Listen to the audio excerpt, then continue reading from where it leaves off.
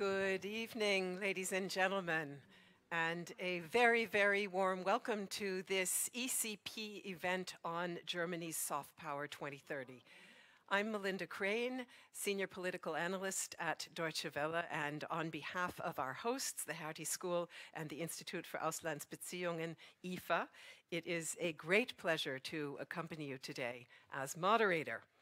The term soft power, as many of you undoubtedly know, was coined by Harvard professor Joe Nye just after the fall of the Berlin Wall. And interestingly enough, it's a term with which the German government has never been all that comfortable, as I think Helmut Anheier will uh, uh, also remind us of a little bit later on. Nonetheless, external, educational, and cultural policy have been a key pillar of German outreach during the entire post Cold War period. That period, as we knew it, or as we thought we knew it, came to an end in February with Russia's invasion of Ukraine and with Chancellor Scholz's landmark speech in which he declared that a Zeitenwende was at hand. Germany clearly possesses significant soft power potential at this critical juncture in history. It's not only the EU's most populous member state and also one of the world's largest economies, it consistently scores pretty high on international rankings of the world's most trusted countries. To realize that potential, to shape the tools and instruments of educational and cultural policy to maximum effect, clearly it's imperative to understand the goals that they could serve and also the context in which they would be deployed. And that is anything but self evident, which is why the subtitle of tonight's event is Scenarios for an Unsettled World. To explore possible contexts and goals, researchers working with the Hertie School and IFA's External Cultural Policy Monitor, ECP for short, have developed four scenarios outlining potential paths for future German foreign cultural policy. We're going to hear more about their findings in just a moment. Allow me just a very quick word on our agenda. We'll begin with welcome remarks on behalf of our hosts and organizers. Senior Professor Helmut Anheier will then follow and present the Soft Power 2030 study. And following that, our outstanding panel will join us here on stage to explore the researchers' findings and their implications. And we're also very eager to hear from you, ladies and gentlemen. We will definitely take your questions toward the latter part of our discussion. And now it is my great pleasure to hand over to the Vice Secretary General of the Institute for Auslandsbeziehungen, Sebastian Körber. The floor is yours.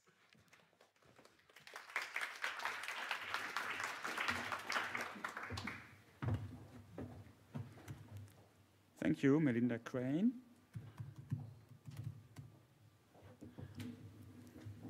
Dear guests, distinguished speakers, good evening, ladies and gentlemen.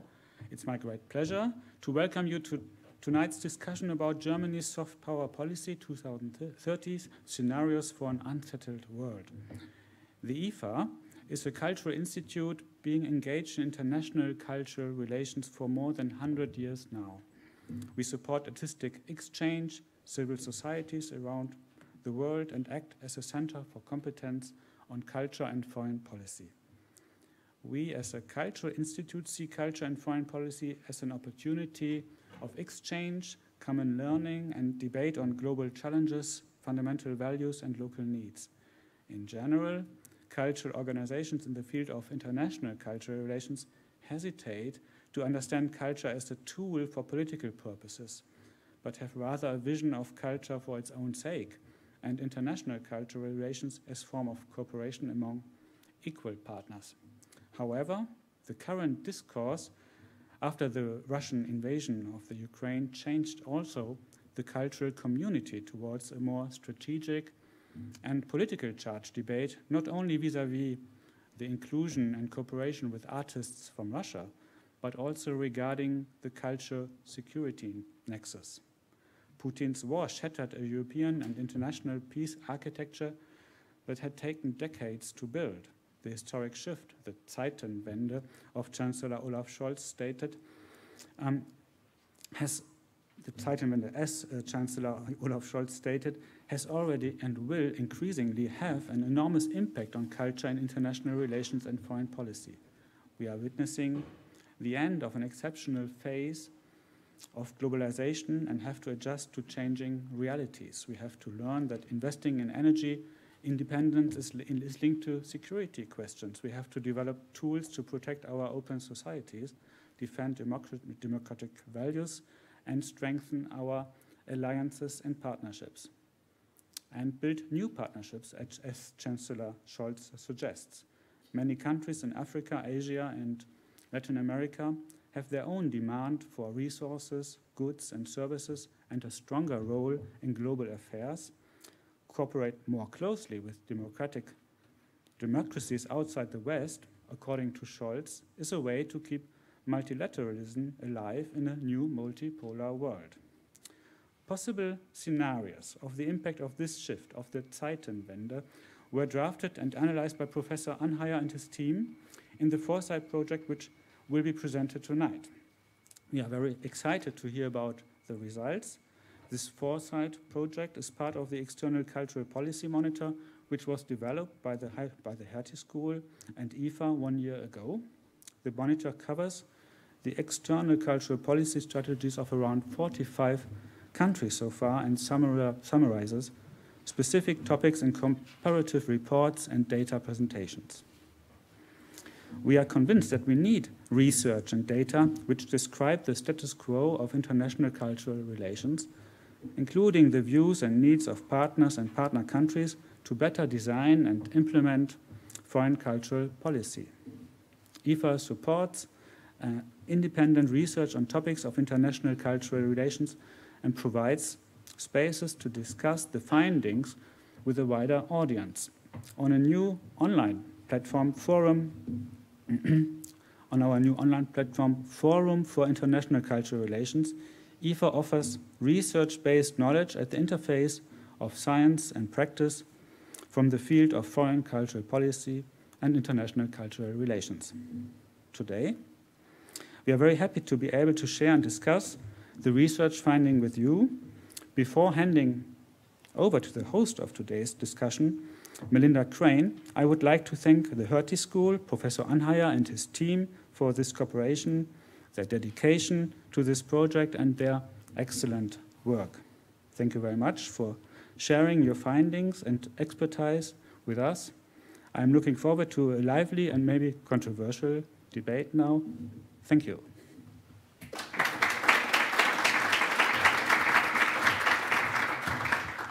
Thank you very much, Sebastian Körber, for your words of greeting.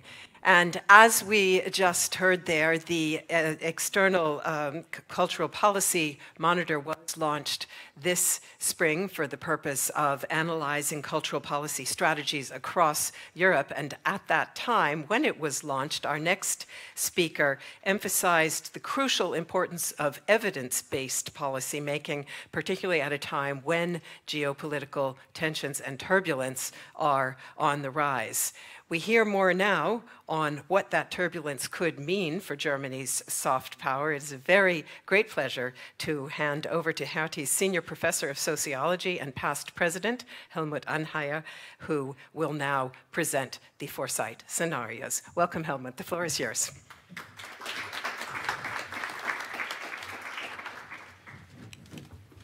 Thank you so much, uh, Melinda. Perhaps you could you drop the senior? When you introduce me um, uh, I, I, think this, uh, this project has um, uh, a, a, history that uh, started before uh, the uh, invasion of Putin's army of Ukraine, and it, it has shifted and changed quite a bit. But the, the spirit by which it was carried out um, comes very clearly through two citations that I would like to share with you. Uh, and I think nobody put the situation in which Germany is now better than uh, Constanze Stelzenmüller at Brookings Institute. At Brookings Institute, she said at the Financial Times just very recently that um, Germany outsourced its security to the United States, its export led uh, growth to China, and its energy needs to Russia. And I think that really sums up a very short sighted uh, foreign policy view. And we were trying to make sense of what that means now for, for soft power. And Norbert Röttgen, uh, who many of you, of course, know, and now a member of parliament with uh, the CDU, uh, he said in his recent book, um, We should have known, but we didn't want to know. It was all there to see in plain sight, but we didn't want to see it. Right? So there has been a certain short sightedness when it comes to um, German foreign policy. I know that's a controversial statement to make, but I think this is a time of reckoning, and we should be uh, honest and speak our mind. And when we talk about Zeitenwende, we should be um, we should know what we're actually talking about. And it has become, for those of you who listen to the news today, it has become the word of the year. Um, and it's um, characteristic, I think, of the kind of soul searching that goes on at the moment in many policy circles. So our little project here is, is part of that. I, we try to understand uh, what the changes uh, mean that we are now observing um, when, it, when we look at geopolitics, but also divergent global scenarios, uh, what does that then mean for possible cultural or soft power approaches for, for Germany? That was the focus, and we said, why don't we aim for the year 2030, right? And before um, I, I'm, I'm, sorry, before I go into this, this uh, goes in and out all the time. That's why um, it is uh, kind of hard to have a fluent presentation. This is Matt.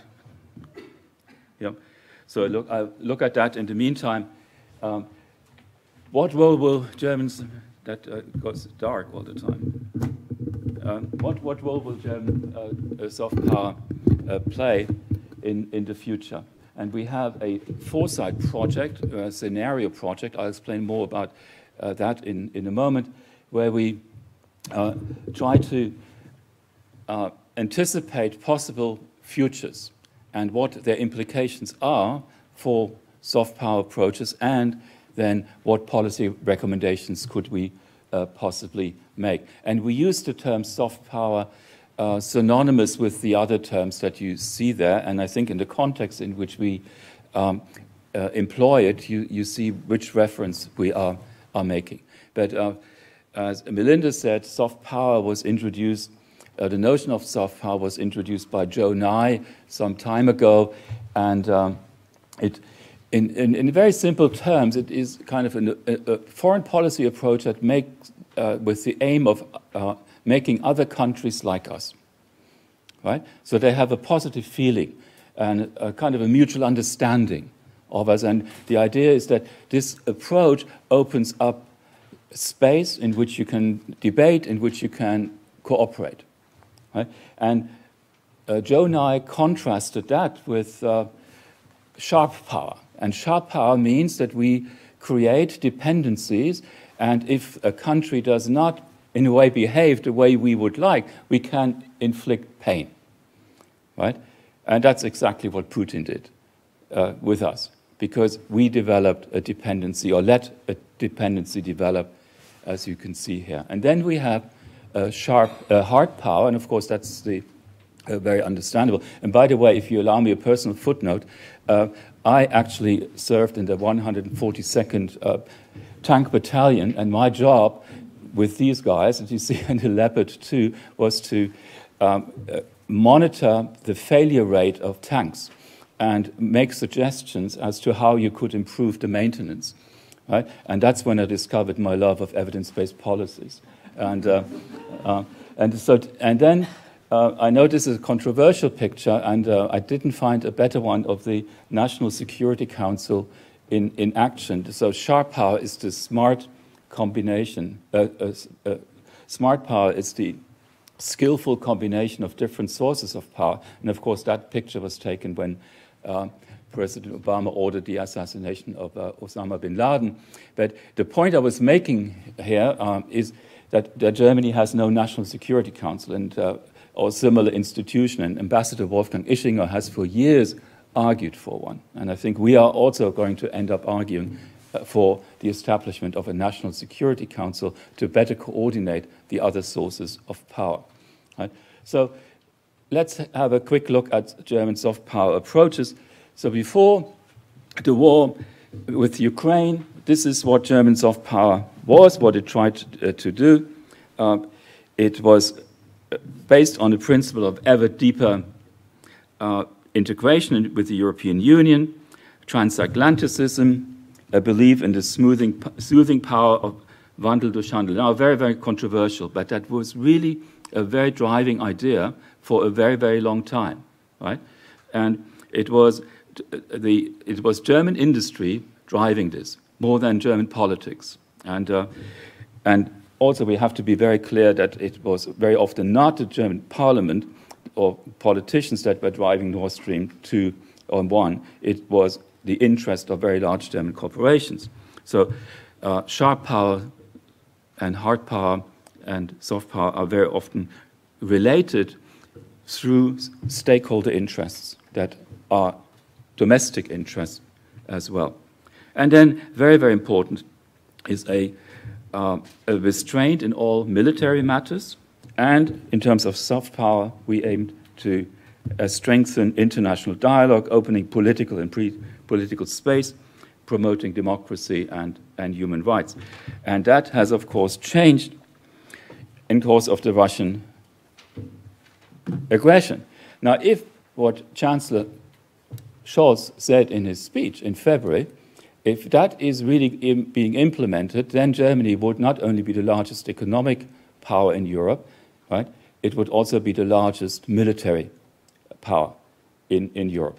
And we need to start thinking about the implications of that, knowing that this country is deeply pacifist. Right? It's not at all a bellicose country, but it has now the uncomfortable task of coming to terms with the changed reality. And there was no debate. There was no debate in Parliament and the public about increasing the size of the federal army. But so, what does that mean for soft power approaches? So, in the report that is actually available already, we go into some statistics. And what we have in, um, in the German case is a this is almost impossible to do, I'm afraid, because um, it comes in and out, right? Um, why don't I take a mic? Yeah. And uh, do it like this from here. Apologies that uh, we actually very professional that I go to school normally, but um, you got this? Okay. So um, uh, what we have is a really quite impressive uh, system a soft power system, right? Where we maintain one of the largest networks of international exchanges worldwide. We have uh, the German language ranking four in the number of languages being taught, and the numbers have been increasing. We have the network of schools that has expanded in recent years and is widely regarded as a very successful instrument and also of attracting talent uh, to Germany. We have science diplomacy, where Germany ranks among the top in science diplomacy internationally. And we have, in the foreign and social media sphere, we have Deutsche Welle as one of the largest media institutions in the world. So, so Germany is actually quite well positioned, right, in terms of soft power instruments.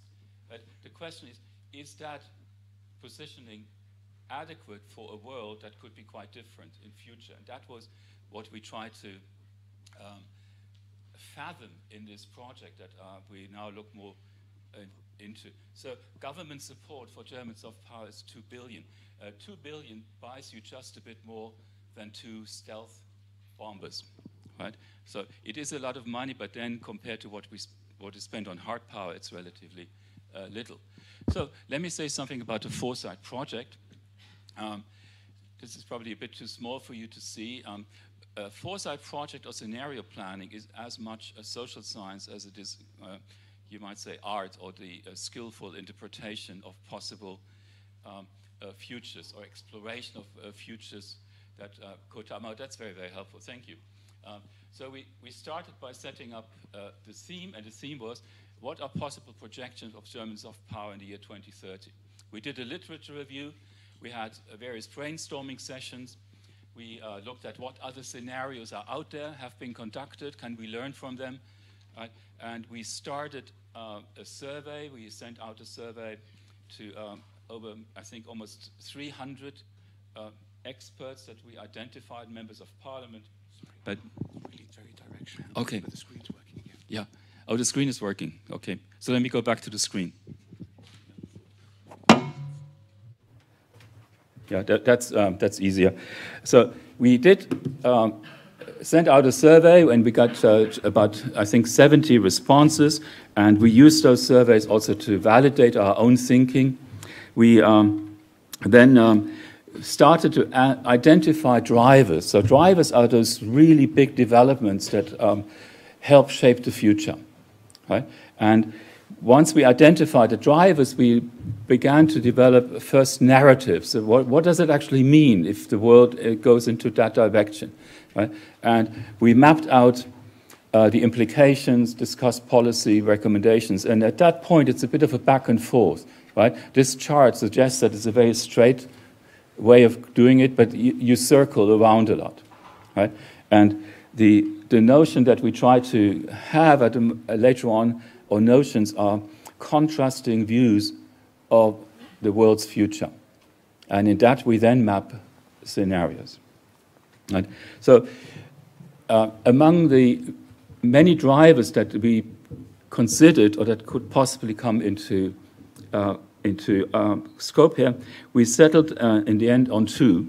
And one is the state of the world economy, and the other one is the geopolitical uh, situation.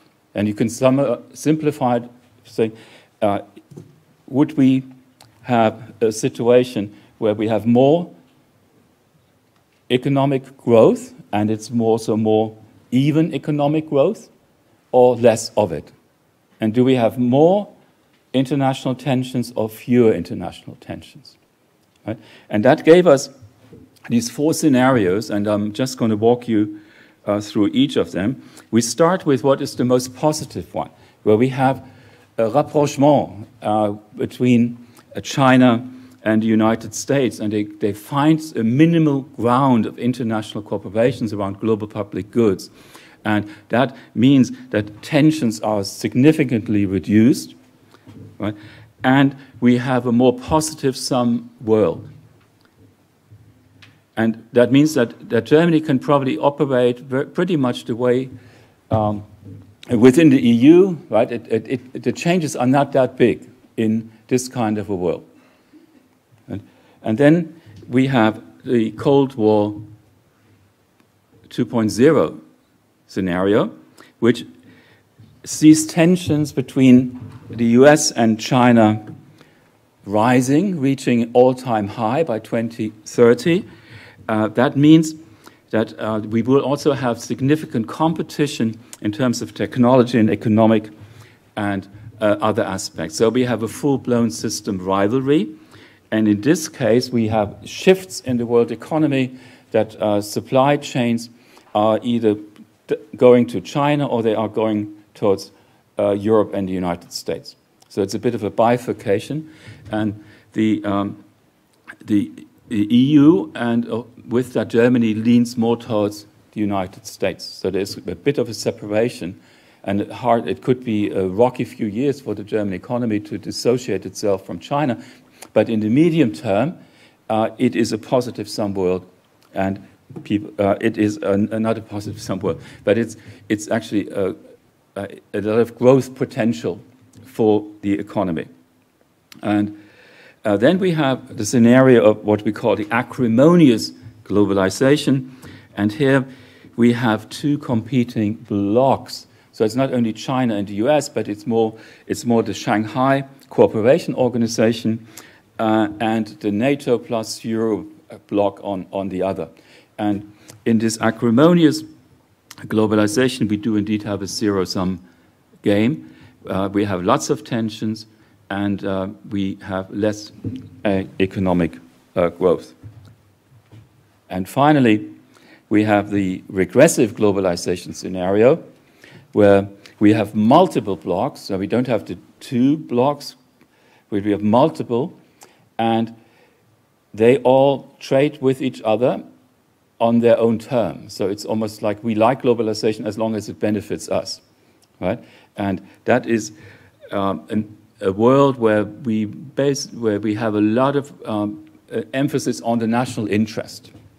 And what we get at most are regional uh, trading blocks, but we do not get larger configurations. And here too, the situation is that China and the US have failed to come up with a workable cooperation model. And what are the implications? Um, well, for this Sino American rapprochement, it's really continuity. Right? And uh, Germany could make science diplomacy a big part of it because there, there will be a lot of competition around technology and advances also in the digital world. Right? So the PASCH network could be there. Uh, I think the Goethe Institute could operate the way it, it does now, focusing on language education a lot, probably more than it uh, does, does now. In Cold War 2.0, that changes drastically.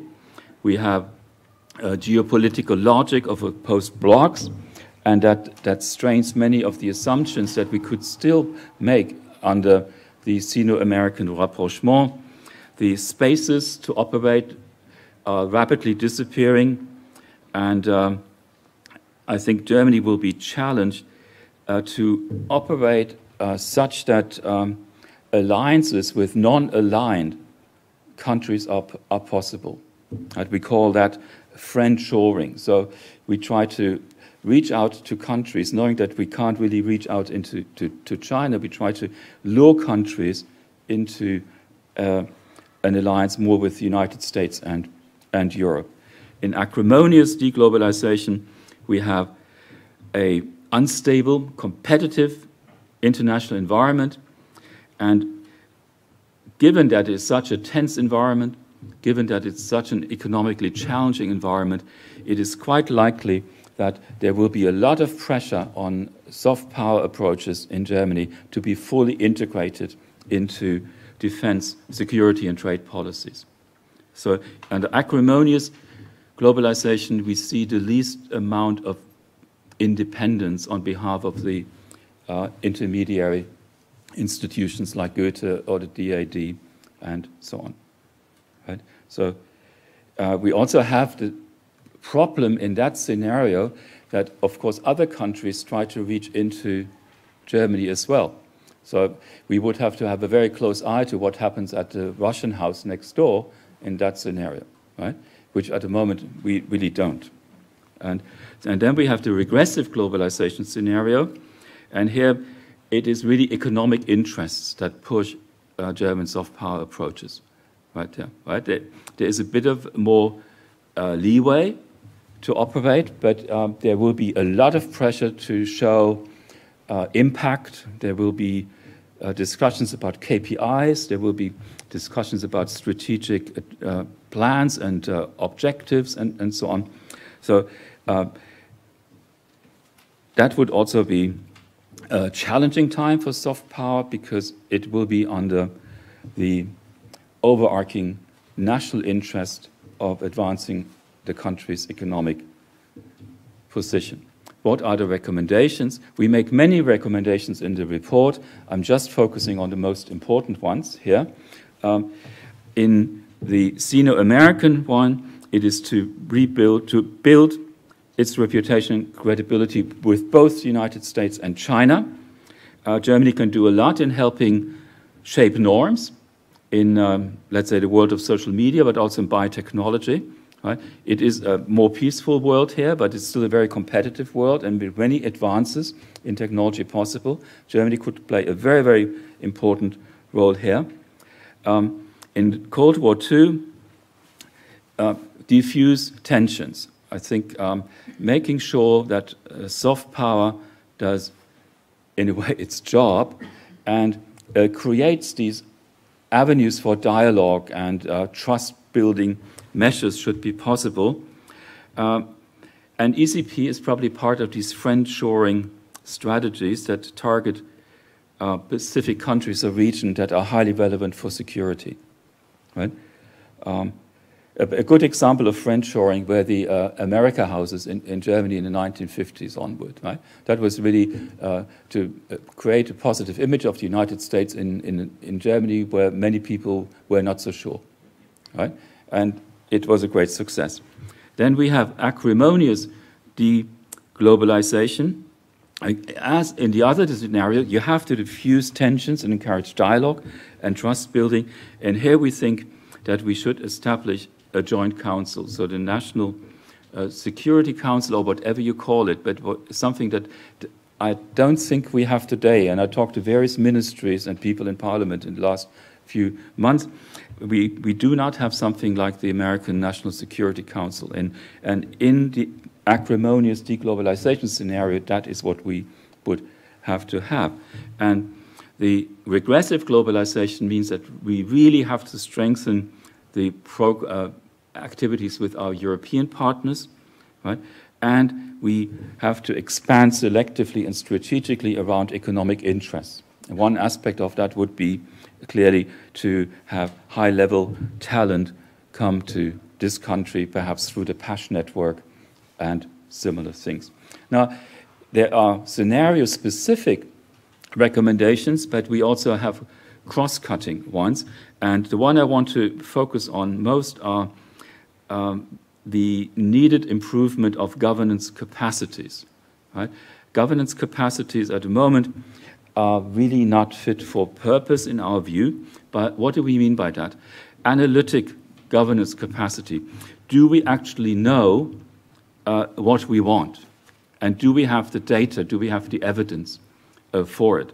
There was no plan B, right, to the situation that Constanze uh, Sterzenberger described, Müller described so adequately, right? There was no plan B, right? And that should not be the case. Having not only a plan B, but having a plan C is part of the capacity to govern, and we have failed in that regard. Regulatory capacity, we should really step up the, our efforts to, uh, to uh, set norms for cyberspace, artificial intelligence, and of course also the red lines that are needed in, on, in the internet and in the social media. I think we just have to be more assertive in pushing that through with our European partners. We have to overcome uh, what we call the discordance between annual budget allocations and multi-year plan commitments.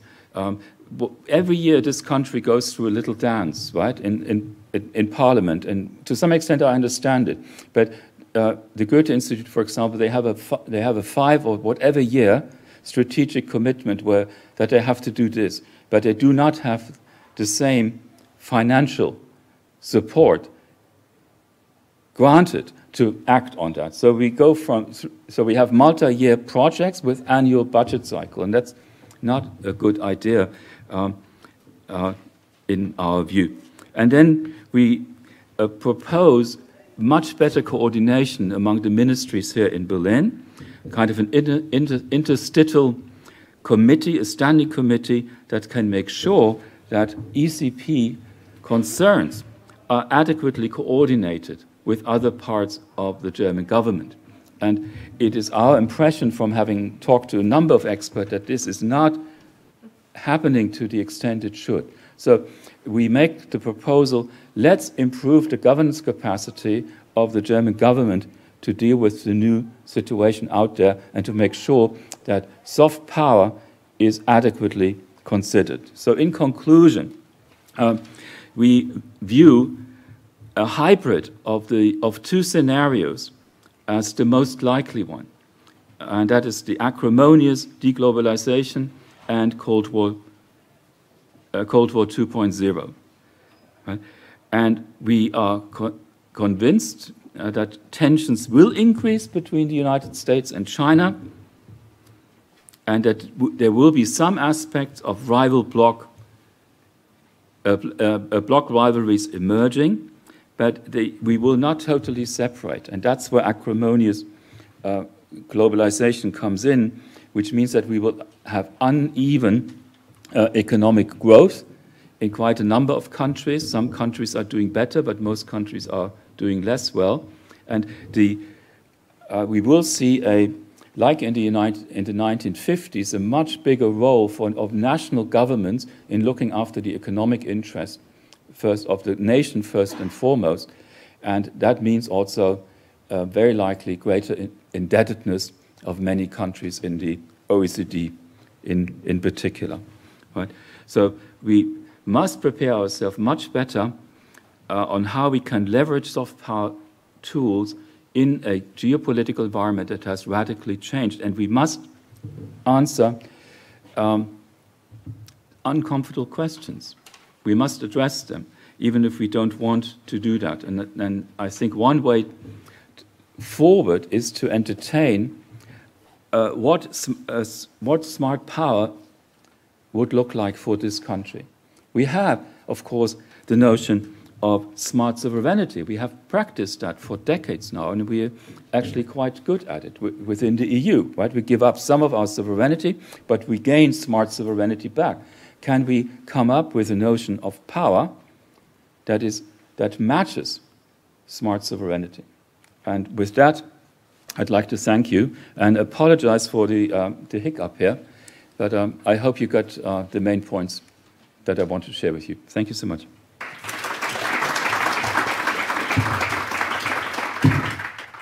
Helmut, thank you so much. I think we absolutely did get the main points, and uh, it was a very comprehensive uh, presentation with a lot to unpack. So, without further ado, I will ask our panel to please join me here on stage, and I will introduce you when you are here.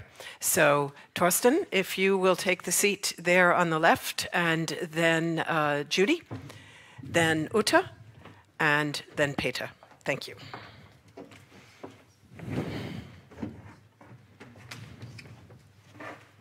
Sorry, I didn't ask, but shall we do first names to make it really snappy? Um, great. Okay. So I will start with uh, if, by introducing uh, the gentleman on the left. Is Thorsten Benner. He is director of the Global Public Policy Institute here in Berlin. And prior to co-founding it in 2003, he worked with the German Council on Foreign Relations. Judy Dempsey is a non-resident senior fellow at Carnegie Europe, and she's editor-in-chief of the Strategic Europe blog. She has she was the author of the book The Merkel Phenomenon, and she has also reported for the International Herald Tribune and the Financial Times. Ute Frevert is director at the Max Planck Institute for Human Development, and she's founder of its Center for the History of Emotions.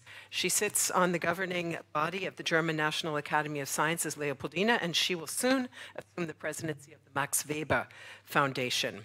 And finally, seated next to me, Peter Kettner is head of the Strategy and Planning Division for Foreign Cultural Policy at the Federal Foreign Office, and his 21 year career in the Foreign Service has included postings in Almaty and Ankara. So, welcome to all of you. I'd like to begin by getting everybody's take on what we've just heard. Amongst these four scenarios, I wonder if you could share with us where you think we are now and where you think we're heading, and then very briefly, if you would, whether there are other options that I believe it's football that we must be hearing periodically. Um, yeah, um, but we're not going to think about that.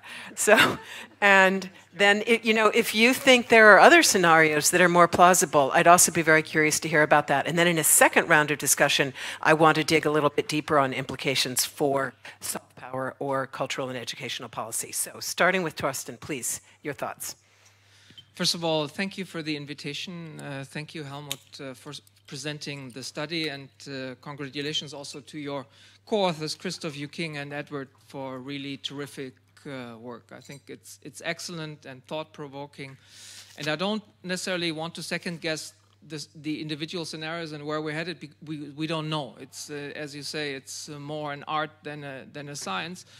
I would just like to point some to some positive uh, possible alternatives uh, from which we could start thinking about this or like it, it got me thinking in, in that way. I just returned from india yesterday. I thought if they listened to this presentation they would probably think it's a little german centric you know this zeitenwende happened all because of us and, and it, it, it's all about us mostly. And i think if you and it's a, it's about us and the us and china uh, the, everybody else just gets fit, fitted into a box. And I think what Olaf Scholz says about uh, where the world is headed, and there I'm in agreement with him, is that, uh, and I think you say it also at some points, is that there are many countries uh, who will kind of seek to shape their own destinies and will not neatly sort themselves into any sort of scenarios. and and we need to be, you know, successful economically, politically, and also culturally by you know establishing deeper ties with these with these countries. Some of the major players, India, Indonesia, other countries, Southeast Asia, Brazil, you name it. These are all countries, uh, Nigeria, South Africa, and, and, many others that will shape this century in a, in a way where we say like they will co-shape uh, the, the uh, our dealings with the climate crisis and and and uh, they will shape norms and co-shape. And uh, there's a little. I mean, I, I think the if I had to put an emphasis and where you say, how how do you leverage uh, soft power tools for security and economic purposes? I think give them a lot of freedom, but you know, set priorities by reinforcing that uh, you take over the Max Weber Foundation. They do a lot of excellent work, but I would think the institute that you started in India, I think that's something to build on and uh, to say, you know, we should go more into these countries where we are pretty weak in, in terms of how we're anchored there, and that will support whatever whatever uh, we're doing on uh, what we need to do on the security and uh, and uh, economic front. And I think we need to start from the realization that we don't have, as the West or as Germany, a lot of credibility in many of these uh, many of these countries in terms of our record, more recent record, past past record, and, and so on. And I think uh, this reckoning is not only with our recent foreign policy. I mean, you had this one sentence that got me thinking in the in the in the report toward the end that uh, yes, Germany needs to account uh, for its wrongdoings, but it shouldn't distract us from the future. I think it's a it has been our asset to actually combine the the two, and I wouldn't see a dichotomy. But I think we've been a little myopic or like too focused on one aspect, and to deal too little with our colonial history. So I think we should invest uh, in, in, in that. I'm, I'm just going to uh, suggest uh, yeah, that you so maybe dig deeper on that uh, in a later yeah, round. I will. Great. Thank you. Sorry, didn't mean to just you know. It, no, okay. Judy, your thoughts as well, yeah, if you would. And, uh, I, you know, I was looking at some of your recent writings and I saw the article that was quite recent saying that Germany still uh, uh, maintaining some of its illusions uh-huh. about China and Russia. Yeah. And you mentioned uh, one of those being the continuing illusion of Wandel durch Handel. So I wonder what you think about the assumptions of the report that, in fact, um, we're likely to see hmm. a China German rapprochement as one of the most likely scenarios. Ooh got for three minutes. Is this on? How do I? It's on. It should be on. on. Yeah. Okay. Uh, thank you very much for having me, even though it's Friday night, and I think there's a football match as well. And I'm sorry that Germany. Well, we didn't get through either. We never made it actually. Let's not talk about that element of Germany. Um, uh, the report. Um, I I have a I have a I have a problem with the report. Um, and I think um, the main issue I have with it and it's packed with lots of ideas and recommendations in that it lacks the very essential two words uh, change and human rights. There's a reference to human rights, but it's sort of passing. But the human rights must build into the cultural element and the society element.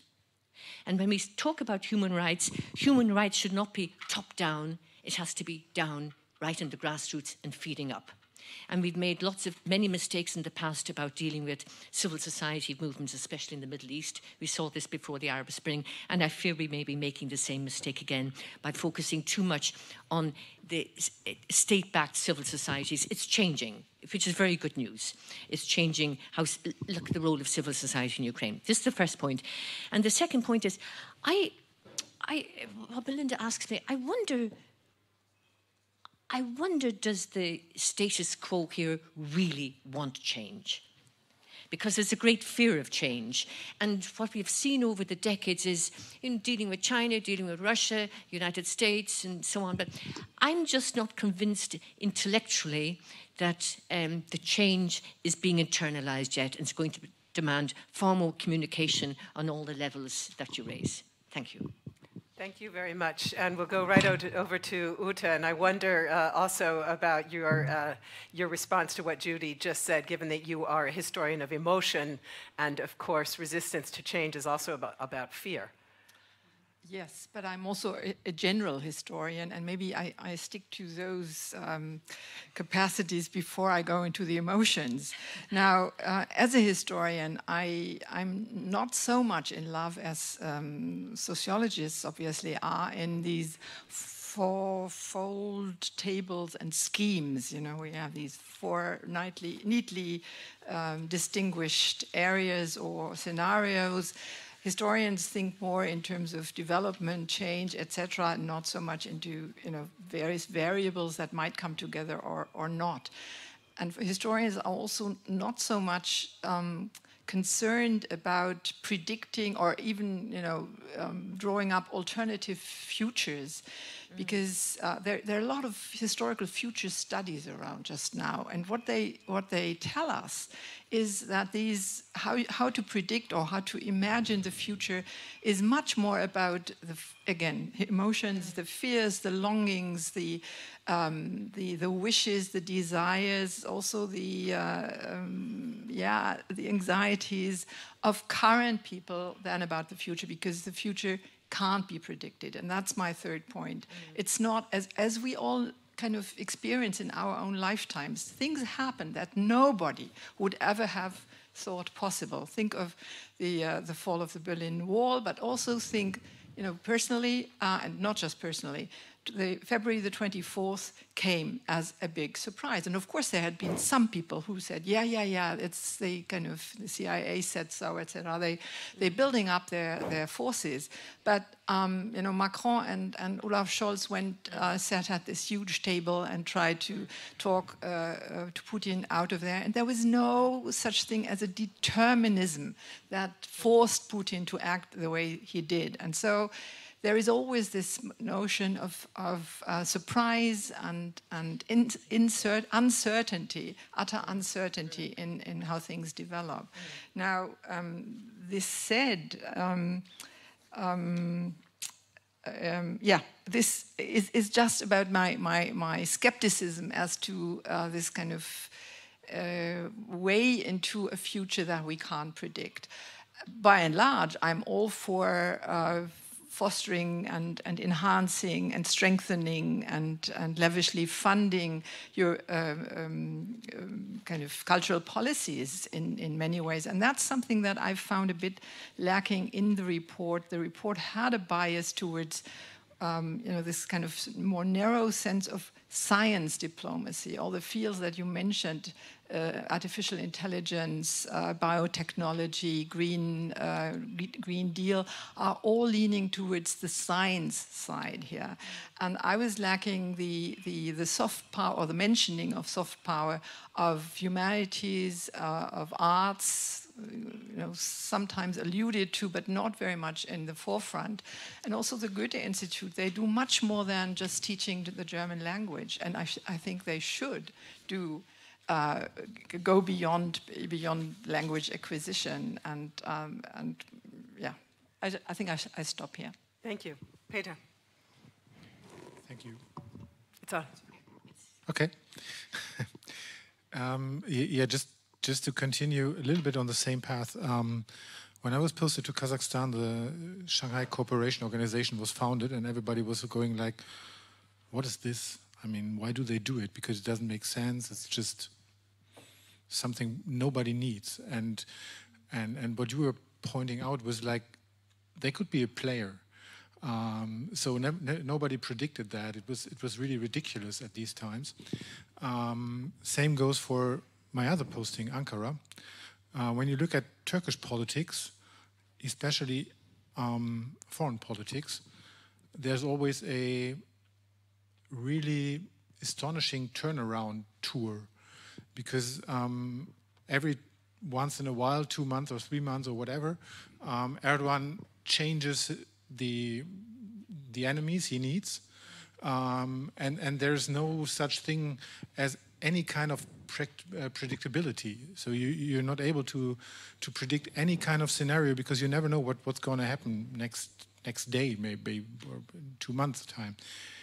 And the same goes a little bit for what you said about February 24. Um, in a way, this was, from my perspective, this was not very rational. I mean, um, Russia was in a quite strong position before they invaded Ukraine, and afterwards, from my perspective, they're not. So, from my perspective, um, this was not a very smart and logical step. But so, so to predict it is, and, and to, to predict these kind of futures is barely, I would say, impossible. And um, when it comes to what, what can cultural diplomacy do, I think this is more about, I mean, we're, by, by, by shaping cultural diplomacy, we're trying to give the layer, the basis of what, what, what can, what can be built on um, the relations we have with that cultural diplomacy um, by, by establishing contacts between societies, between people. Um, and that may help to establish stronger political uh, and, and further going economic re relations. But if I could just ask a, yeah. a follow up to that, is it working or not? Okay, doesn't really sound like it, does it? It does? Okay, good. Um, a, a, quick follow up to that, it would be um, you heard Helmut say that there was a sense that they believe cultural policy needs to be more integrated with the overall foreign policy direction and that that in, in turn should reflect the scenario type development that we see. Um, would you say that's already? Do we really need a kind of a Security Council to ensure that that does occur?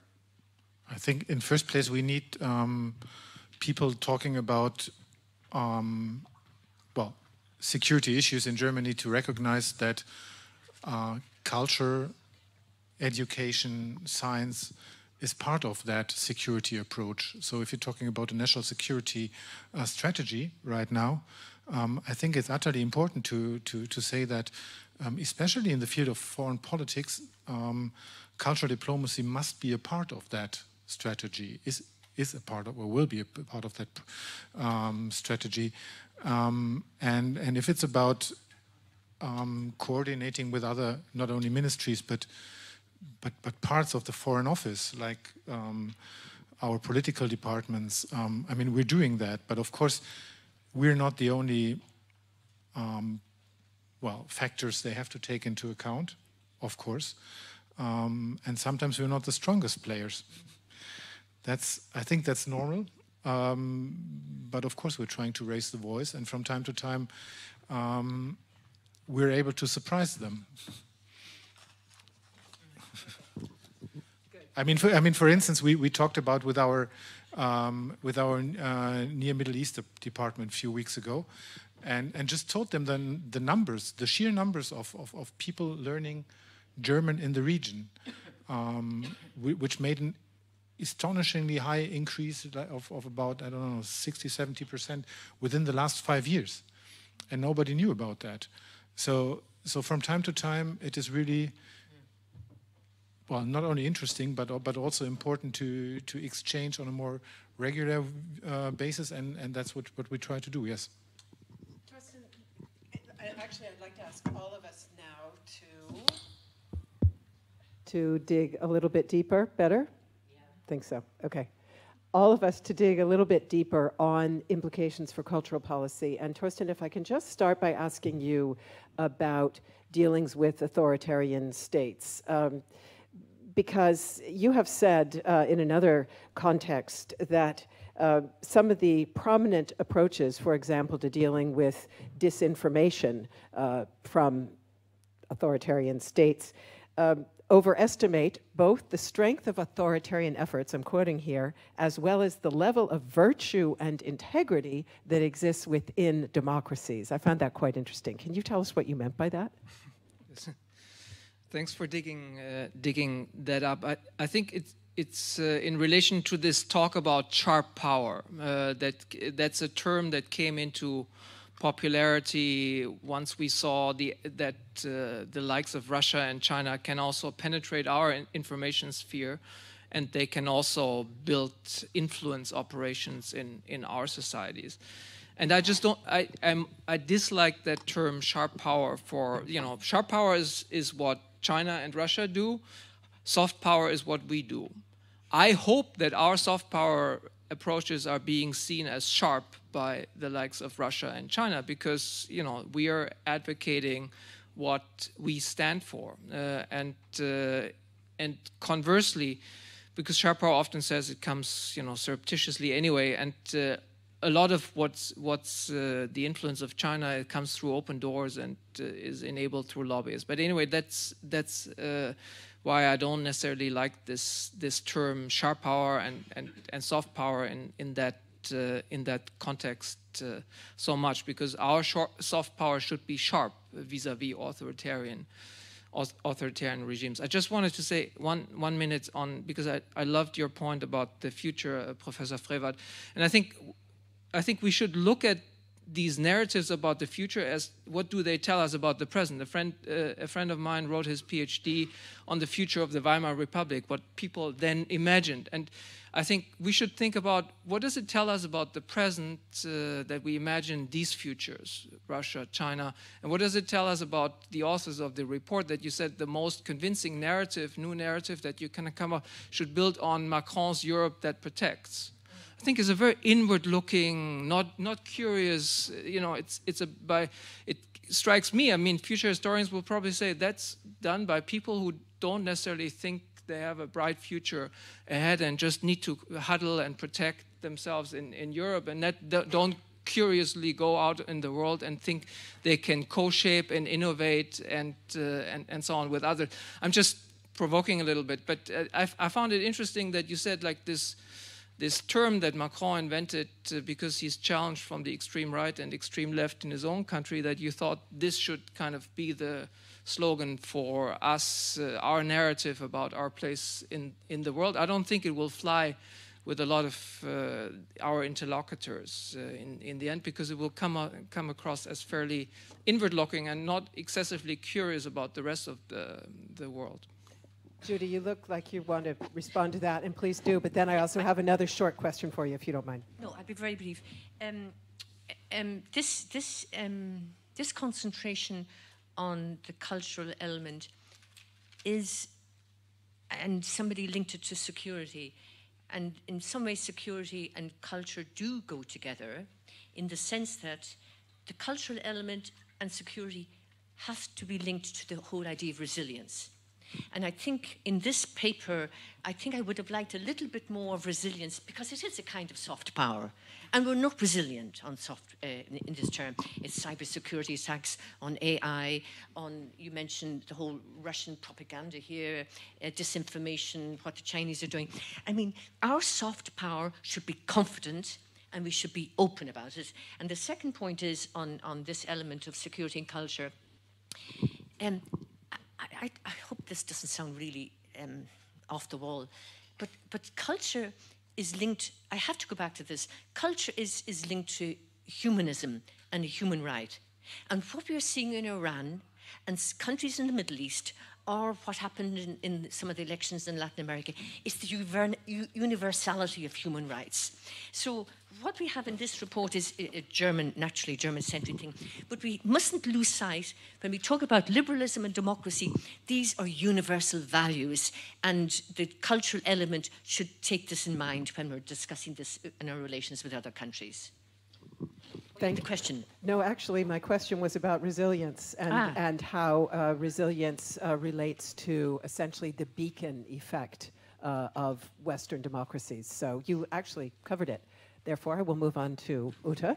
And um, no, no, you can't. But uh, but I do want to move on to Ute because I want to talk a, a, a minute about the essentially uh, the opposite of. Uh, resilience. Helmut talked about the fact that soft power ideally should be making countries like us, other countries like us. But as we know, there's enormous mistrust in the West um, certainly, if you look at the vote in the General Assembly on whether or not to condemn Russia's uh, invasion, there were many countries that abstained or uh, voted against uh, the Western uh, the Western resolution to condemn. So there's a lot of mistrust out there.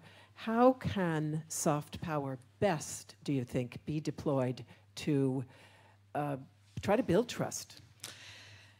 Thank you, Melinda, for that question. Um, I think the first thing is to do to disentangle um, cultural policy from you know what you what you asked Peter about the um, integration of, um, of, of security issues, economic issues, and cultural issues, and I think yeah, that's fine. People should talk to one another within the ministry, but also between the ministries, because quite a num- quite you know some money also comes from the BMBF for for all these um, endeavors. So I, I, do hope that you talk to one another. But uh, I would not like to see cultural policy as a kind of servant, a server to, a serv, serv, servant, servant, servant to these kind of uh, security or, or economic issues. And exactly because the future is unpredictable, and we don't know if Ankara or Almaty or um, uh, what, any other uh, any, any, other city, yeah, and any other city in the world will actually be the focus and the center of some new conflicts or some new opportunities also that might arise. So I would really kind of suggest to to spread uh, these efforts of cultural diplomacy and cultural cooperation pretty wide and also include, and I come back to what Thorsten said in, in his first intervention, um, also come back to these, these uh, difficult friends or difficult partners and we can't always choose whom to cooperate with. I mean, we could, but it would not be wise to choose. We also have to have a presence in a country like India, where um, democracy is really kind of under threat at, at this very moment, and the, the country is, is marching into a direction under the um, um, uh, BJP government that is that is very detrimental to diversity, to um, Muslim Hindu cooperation and, and, and coexistence. But we, we have to have a presence there. We will also have to have a presence go back to Russia. Uh, once that war will be over, because we just can't afford to, to let any country drop off the map. Because I absolutely agree with, with you it's not just a bipolar world, a new bipolar world that we that we're drafting between you know Washington and Beijing, and maybe with Brussels and Berlin, kind of sneaking into that relationship. It's much more, it's much more multipolar. Let me pick up on, on two aspects of that, if I can. And uh, Peter Chancellor Scholz recently suggested that Germany needs to resist a division of the world into blocks. He has an article coming out in Foreign Affairs soon, which essentially uh, says that. And then uh, uh, again, it's uh, something he said before: need that Germany needs to build new partnerships to counter such a development. So, what tools of soft power would you say are most fit for that purpose? And to what degree can Germany do more to link its efforts up You said Berlin and Brussels, uh, uh Ute, and uh, you know how much cooperation is there with other EU member states and the EU on this, or is it really, as somebody said, German-centric? Well, um, um, maybe just if you allow me, just one comment to to what you've said, just um, about um, about this um, disconnecting between well, foreign policy and, and cultural policy. Um, I, I, think that the, the, German system, the German system of cultural diplomacy, is very much or is based on the independence of of the players that we work with, and that is something that is quite unique, but but also very important for us, um, because we know that the strength of the German system is is really in that independence. So um, yes, we have political aims like climate foreign policy, like feminist foreign policy, um, and we can share that with our partners, and we can tell them that's the way we want to go, the direction or the um, the star we want to follow. But um, but they're independent in the, in the way they do it and and how they do it and if they open up institutes and or if, if they if they do this and that. Um, and this is very good because we're not experts in that field. Um, and and and as concerns resilience and I think we cannot overestimate the role of um, of culture. We cannot overestimate the role of, um, of of, institutes like the Goethe Institutes in countries where um, people working in the cultural sphere are under pressure this is something, I mean, these safe spaces are really needed. And um, especially if, if we look on the, on the places that have been shut down, like Minsk or, or, or others, um, it shows that these are the places where, where we, yeah, where we need engagement for civil society the most. Um, okay, but coming back to your question, sorry. That's uh, right. Actually, you know what? I will briefly step out of my moderator role because yeah. the Deutsche Welle is an actor of cultural policy. It was in Helmut's presentation. And when I think about how we work, it is exactly what Peter just described. We do not think what would fit in. First of all, it's a common misconception about the Deutsche Welle. We are government funded, but we are entirely independent. We have never received threatening messages from the chancellery or the foreign, uh, the foreign service about what we are doing in our programming. Every week we do a talk show, which I often moderate, that is about the Ukraine war, and we question the German government's policy repeatedly every week because we believe that by doing that we show the strengths of liberal democratic debate and that that is cultural policy walking the talk uh, walking the values. So for me, um, again, if even if there were a Security Council that said this is what the Deutsche Welle ought to be doing, I'm not sure the Deutsche Welle would take that on board. Anyway, that's just. Uh, no, you're right. Yeah. And, and, and, and there's one, one example, because we talked about, well, a few weeks ago in, in the ministry, we discussed about the point um, what is German about German cultural diplomacy?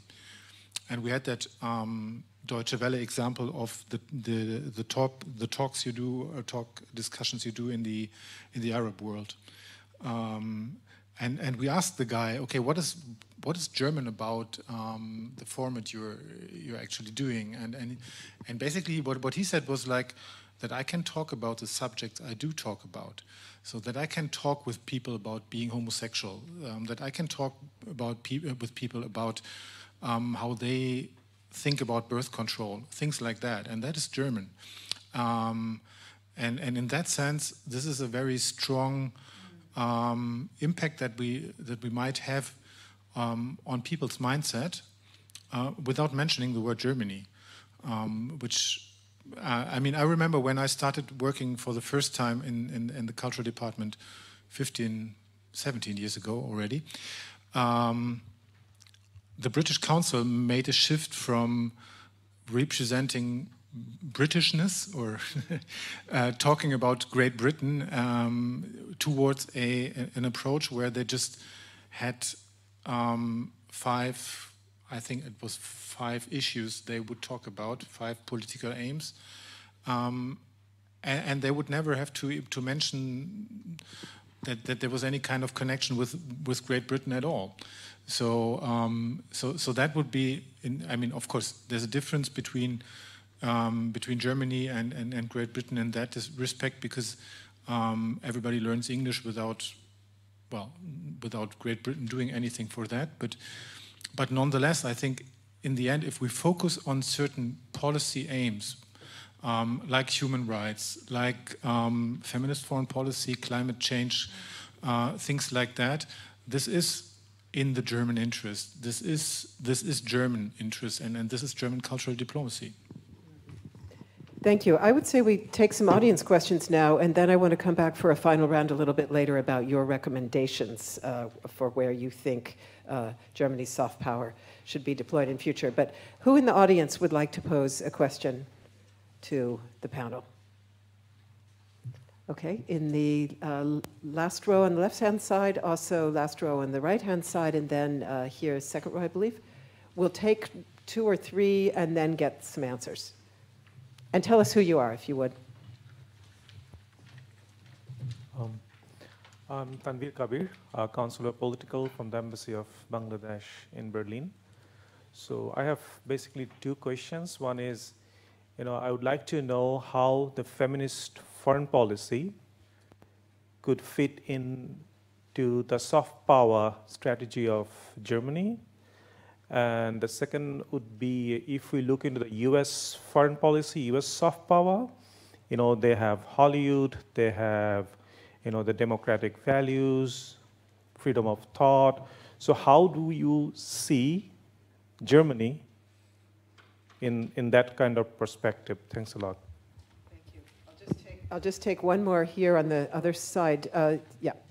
I came a bit late uh, for the lecture, but uh, I just like to hint on some issues, as I feel a lot of what is talked about here is play with words. I was exercising soft power for many years as an ambassador of the European Union. And I tell you, we gave up on this uh, term. And for 10 years, we speak about smart power.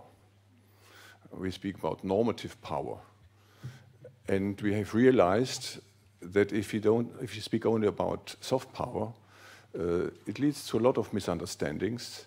The other side perceives our soft power as a kind of hybrid war. I was chairing the EU China human rights dialogue for many years. And all our ideas about human rights were seen from the Chinese side as a kind of hybrid war against their understanding of human rights.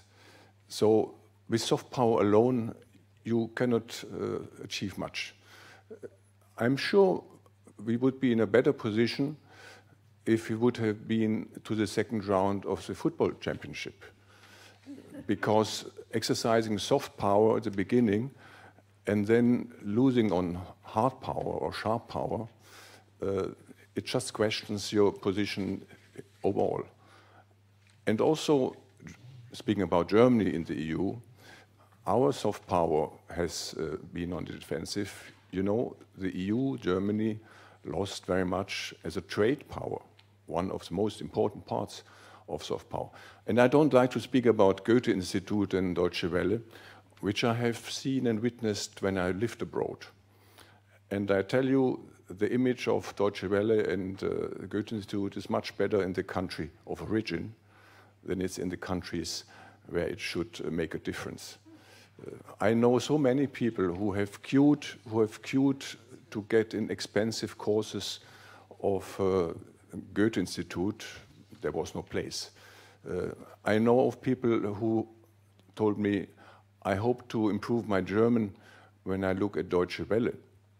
But Deutsche Welle has no idea about subtitles, for example. Uh, they try to uh, communicate German soft power in China in English. So, just to uh, hint to some issues, if we don't develop soft power to smart power, I think we will uh, not achieve anything much. Thank you. Let me ask Peter to speak to the first uh, two questions, and you know, of course, something there too, if you wish. Yeah, I was also about to say that um, um, what is, I mean, Germany's answer to to um, to U.S. soft power. Um, so we used to say it's football, um, but but this is over. No. Um, no, but, but start, starting with the with the first question, feminist foreign policy, and um, and and I, I, I don't use the, the, the, term soft power, but but I talk about cultural diplomacy at that point. Um, actually, what we're trying to say is um, what we're doing in our cultural diplomacy efforts is already um, a lot of what um, the colleagues in other departments are trying to do now with uh, implementing uh, feminist foreign policy. Because our aim is, or our, our task is, not only to, to, to spread some kind of German message all over the world, um, but it's more to um, to get into dialogue with people and to, to, to open up a dialogue about certain issues, um, which also means that we that we listen to them, and that is something our minister explicitly said in her speeches or says in her speeches regularly um, we hear you. So that is something that is really, really, really in, um, important for understanding that concept and that mindset of, um, of foreign policy. Um, and that is something that we that we use. I think that we've been doing in, in, in cultural diplomacy for, for, for quite a long time because we moved away from that representative kind of cultural diplomacy 15, 20 years ago when Frank-Walter Steinmeier was foreign minister for the first time, um, towards a, a, a dialogue-oriented um, uh, kind of cultural diplomacy. And, and basically, I, am not saying that we're already um, have well, that we already have a full-fledged feminist foreign policy in in our cultural diplomacy, and we can can be much better. We are talking about things like gender budgeting and, and things like that. Uh, we need we need to be much more diverse um, in in the, the, the contents we reflect in the um, well in the mindset of the people that take about decisions about budgets. Um, and, and, there's a long way to go. We're actually having a, um, a, a study case with the uh, German Institute for Integration and Migration here in Berlin um, that deals with um, excluding structures and procedures within our cultural diplomacy that has been going on for one year now and is going another half a year. Um, so, so we have to be better in that. But, but I think we're, we're very, I think we, we have been doing that quite a lot. And I mean, if you ask people in in other countries, what is Germany's soft power answer to the U.S., I think most of them would say, or a lot of them would say, beer, Mercedes, um, things like that. And we're trying to to be more precise about the society in Germany, and that is much more diverse, that it's um, actually quite colorful. Um, and, and that is one of the, the tasks that we actually have in cultural diplomacy to show the, the colorfulness of, of Germany and the, the diversity. Thank you very much. So, uh, responses on the second point, smart power, briefly, if you would, because we have quite a few other audience questions as well. Ute, you wanted to speak? Yes, I would like to uh, answer to um, Mr. Ambassador, but also uh, link that to the question from the counselor from Bangladesh. Um, when I was traveling, um, and for example in South Korea or in India, I always met people who told me how important, especially the Goethe Institutes, had been and still are in order to provide these safe spaces, these civic spaces that allow people from the country, from the host country, uh, that is under, say, as in, in South Korea for a very long time, under very author authoritarian rule, to meet and speak and enjoy also kind of uh, free time and watch Fassbinder film and what, what have you, but all kinds of things that brings them together. It's much more than language acquisition. It's really providing spaces to meet. And one of my best experiences was actually in Dhaka, in Bangladesh, a few years ago when I was there as a uh, guest uh, from by, by, the Goethe Institute, and they hosted a huge party, a, a lovely party, on the occasion of uh, the of October 3. Um, and so we all met um, on the rooftop, and I met so many people. I met so many people who approached me and said, Oh, Germany is such a wonderful country. I said, hmm, yeah, great that you see it this way. And how do you know? And then they said, well, we've been uh, to Germany as a, a fellow from the um, um, Alexander von Humboldt Foundation. Uh, we experienced Germany as a country that was extremely open to foreigners, uh, to South Asians, to other people. And I thought that's the best ambassadors that you ever that you can get. So every money every euro that is spent on these kind of exchange programs in science but also beyond science is so well spent Thank you very much. I will not say anything in detail about Deutsche Welle, except that we made a very conscious decision to move away from our German programming to English programming to reach more people with a German view of the world, but not necessarily in German. However, we do still have German language programming, and I would be very happy to tell you more about that decision, which was in conjunction with doing much more of our programming online where many people can also find German television if they wish it. So that was the reason we're getting lots and lots of positive viewer reactions, and we have the best numbers we've ever, ever had in our broadcasting. So, yeah. But anyway, more, more if you'd like to know about it. Now, anybody else want to speak to any of those points? Then I'll take a question from the lady in the second row here. Please raise your hand. And also from the gentleman in the back on the left and the lady in the. Yeah. Berlin. I wanted to uh, make a short appreciative comment about the report, a short appreciative comment about the panel, and maybe return to one question that was posed. First, I, I, there was a lot of bashing about imagining the future, how that's impossible to predict, but I wanted to recuperate.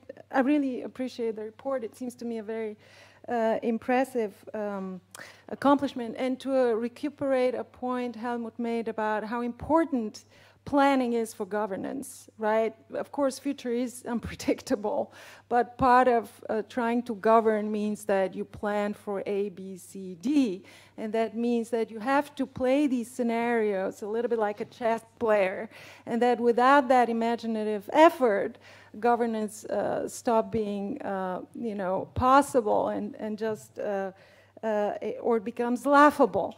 So um, I really appreciated the panel's point that culture should not become an instrument on policy, that it should not be instrumentalized, that there is something to be said about the freedom and the promoting humanities and promoting curiosity and learning for its own sake, and that that sort of circles back uh, uh, perhaps into the foreign policy uh, objectives on their own. So, on this question, is it reasonable to contrast Europe that protects as a kind of defensive stance with curious, open minded Europe. I'm a Polish person. Um, Germany's promotion of openness and, and, and curiosity and sort of generosity toward Russia has come, you know, seen to many of us completely unrealistic and, and, and so it seems to be, I guess, the point I want to make is that soft power or whatever, cultural diplomacy and, and hard power, some kind of realism about security, need to go together rather than uh, being opposed in such a way. Thank you. We'll pick up on that in just a moment. I have a question here in the second row, the lady with blonde hair. Can you raise your hand again? Thank you. Thank you. My name is Sigrid Weigel, and I would like to follow the path of the podium. Um, but perhaps uh, contribute um, a more general idea.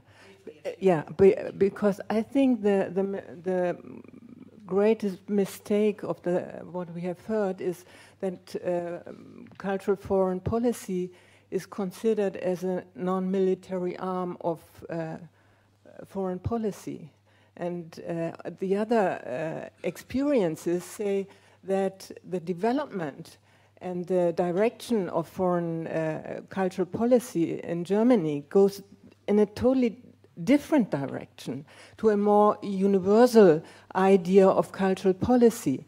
And I would like to contribute two other uh, examples. For example, the new house in New York is not a German cultural house, but it's a space for ideas. And another example is the Villa Sul in uh, Brazil uh, which is dedicated to questions of the global south and not to German cultural uh, policy.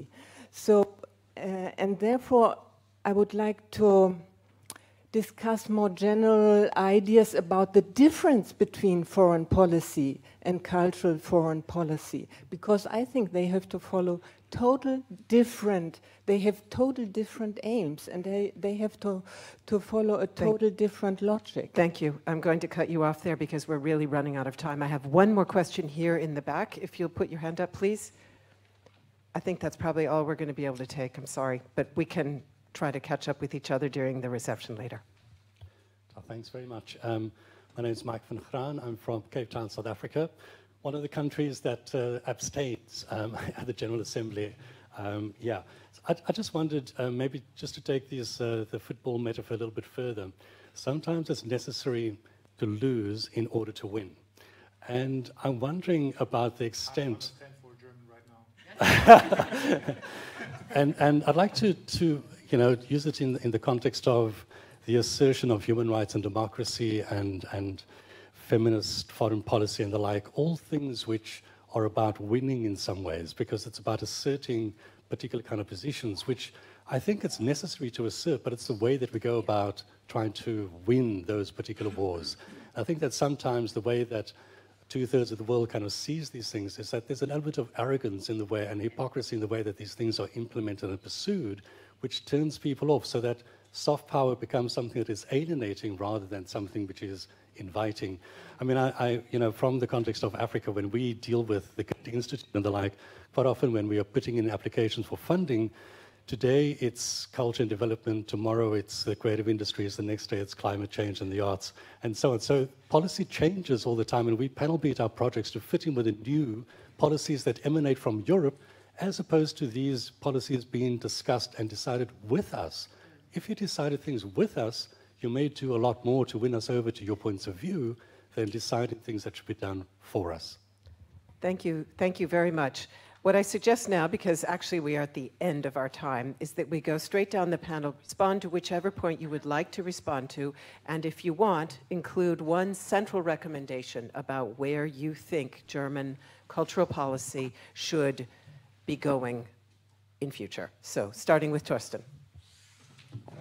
No, thank you. And uh, I want to clear up I don't think any of us bashed uh, these scenario exercises at all because they're creative exercises. We use them all the time. And I think they get you thinking. And that's what happened with all of us. It got us thinking without thinking that we actually divined the future. Uh, and uh, Helmut didn't even claim that. So I think we're all positive about this. And it's a great report and it got us all thinking. Now, I think you gave us the motto for how we should approach this uh, with our with other people in in the countries we work with and not setting us setting the agenda and uh, according to our latest fashion but really with a curiosity with co-shaping and is a is ultimately i think the best you know because you you said this thing how how can it best or better be integrated with economic and and uh, other broader geo whatever the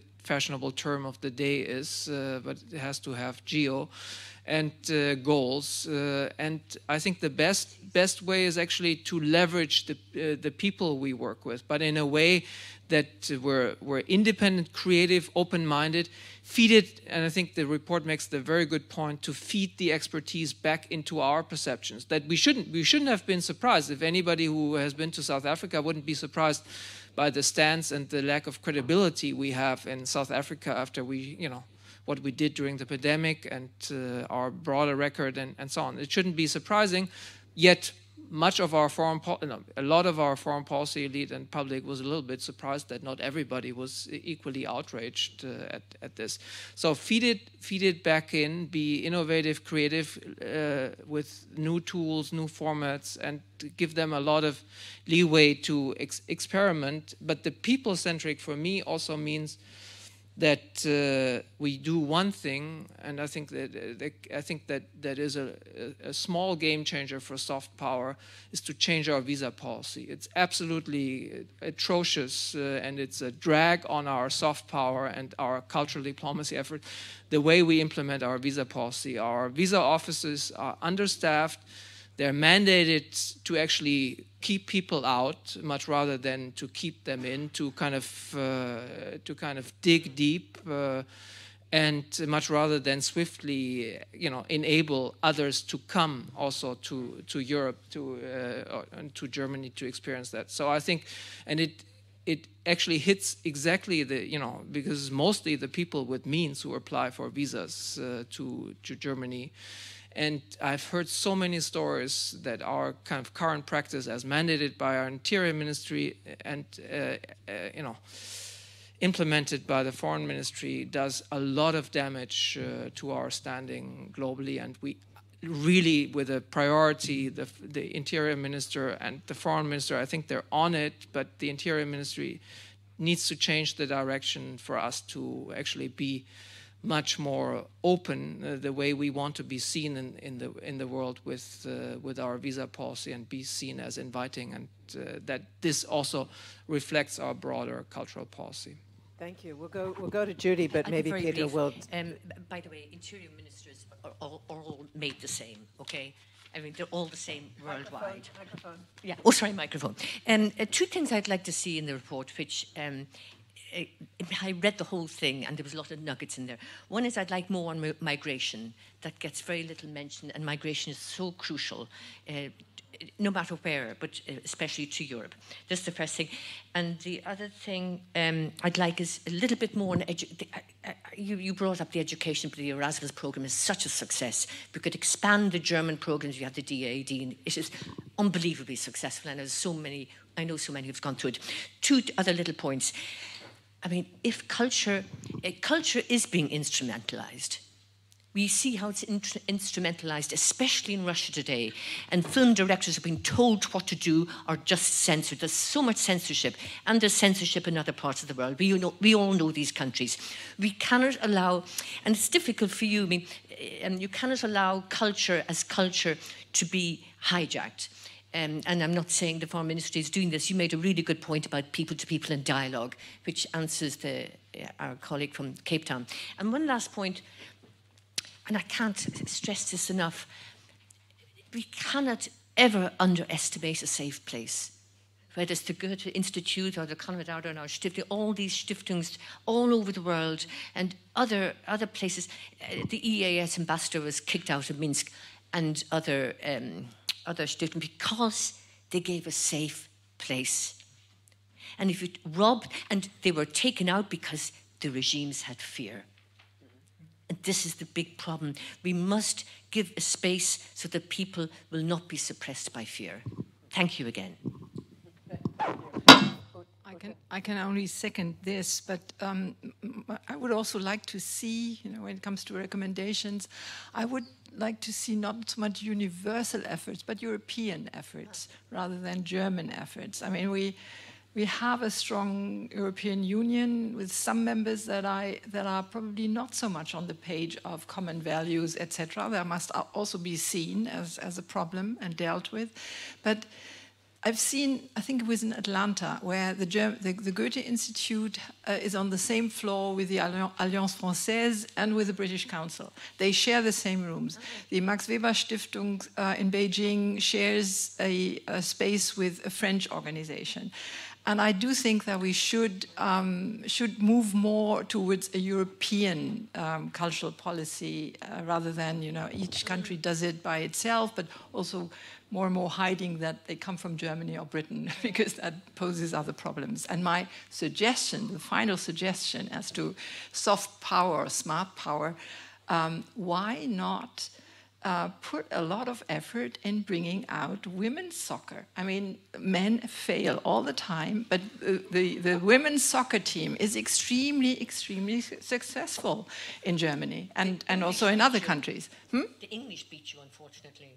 Did? Oh, I, I can live with that. But um, so why not invest more attention yeah. there? rather than in football, male made. Well, actually, that's what we do. Um, no, because I, I mean, I, I, worked in the in the unit that deals with uh, sports promotion within the the Department for Cultural Diplomacy, and and actually that is one of the of the the main objectives that we have to um, to foster the cooperation in in female sports, um, because that is really a tool to to um, to make girls and, and, and women participate in societies um, much better than, than, than most of the tools we actually have. Um, just to come back to your to your question, um, well, first, one thing is very important for me. Um, cultural diplomacy is foreign policy. We are an integral part of foreign policy. There is no distinction between this. If, if ever we make up that distinction, um, I think we're running into a, a, a big problem because um, we have to prove um, the importance of what we're doing every day, and every day this is being questioned. Um, I think it's it's the other way around. We have to make the point um, that that there is no distinction between. I mean, it used to be the, the the cultural diplomacy used to be the third pillar of German foreign policy, and and actually it's not. It's it's, it's part of of foreign policy, full stop. Um, and and there is no first, second, something pillar. Um, but, but it's an integral part, and we have to underline that every day. And this is really important. And if it comes to how is cultural diplomacy going to look like, it's it's going to be, I, I hope, and, and, and I'm really convinced it's going to be more inclusive, more diverse, it's going to be more sustainable, and it's going to be more European. It has to be more European. Otherwise, um, on the long run, we we're losing um, we are losing our our impact that we have. Um, but I think Germany is, as I perceive it, and I'm, I'm not saying that as a civil servant, but um, but uh, but as a private person, I, I, I, think Germany is already a front runner in this, and we're trying to foster that on the European level. But as you said, it's it's it's quite difficult to to act together, and we have like German Franco institutes already in some places, like Palermo was was opened last year, but but it's it's really well, it's not easy. Thank you. Thank, Thank you. you. Thank you very much to all of you for those reflections and, uh, and uh, for this very far reaching discussion. Let's give them a very warm round of applause, if you would please. Thank you. And for some closing words, I would now like to hand over to Dr. Odila Triebel. She is head of dialogue and research at the IFA. And after that, I will come back to tell everybody how they can continue the discussion more informally in a moment. Thank you very much. Yeah, it was um, a very intense um, and fascinating discussion uh, we could listen to, and it had two layers. The first one was the the scenario, and backed on this, the discussion on um, what how German external cultural policy um, might might change and might look in the future. Um, I would like to remind that this uh, this event was planned in the framework of the ECP monitor, and the ECP monitor was funded because actually the the entire environment of international cultural relations um, uh, uh, um, changed a lot during the last decades. And I quote from the report: "Once the Cold War ended, countries such as Russia and China began to use soft power approaches specifically in the sense of a political economic positioning, and invested massively in the expansion." Of their cultural institutes and foreign media. And so this, for sure, is, is a different context also that ha might have some impact on how Germany positions itself. And because of this um, um, changed environment, we thought it's very important, like with this um, ECP monitor, to, to make it accessible, some information about um, these kind of investments and ideas um, done in the field. Um, however, the, I admit that the evening um, didn't match up to the, my personal foresight of this evening, so my closely remarks uh, need some creative innovation from me right now, from the scratch. Um, but um, I like the discussion uh, very much and, and, and how, how it went. Um, so, what I would like only um, because it was already a very intense discussion, um, to, to remind that um, I, I, I, appreciate a lot the cooperation with the Hertie School, but like in every like a good cooperation, it's it's a um, pluralistic cooperation with different point of views. And unlike um, Helmut Anheier, we at IFA, we we are very firm about that soft power is not the same as international cultural relations and we make a very um, we make a, um, a, very firm distinction between both. And the international cultural relation approach is very much in line with the, the one the EU also took. And the difference is that it's based on trust and understanding and cooperation. And this is not only an idealistic view of some normative powers in the middle of Europe who have rely a lot on good relations in the world because of the economy.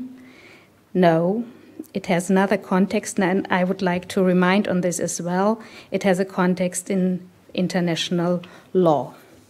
And it was on, on the experience on a, of a very violent past that in the foundation document of the UNESCO it says that the wide diffusion of culture and the education of humanity for justice and liberty and peace are indispensable to the dignity of man and constitute a sacred duty which all the nations must fulfill in a spirit of mutual assistance and concern. And as Karima Bennoune, the former um, rapporteur on human rights for the UNESCO, also constantly um, um, affirms, is that actually this was brought up again in the Covenant of Economic, Social, and Cultural Rights in the Article 15.4 that it's really a duty of the countries to assist each other in this endeavor. And this is also a framework of international cultural relations. So, on this background, I think one of my favorite sentences of the evening is actually the spotlighting of Helmut Anheier on the federal budget spending of 2 billion that might be now be looked at in a different light. so I thank you all, the audience. It was an honor to have you here for a fantastic discussion. It was an honor to have you all, the audience here. And I would also like to thank the team of Hertie School and IFA. It's an honor to work with us, and you made this evening possible. Thank you very much.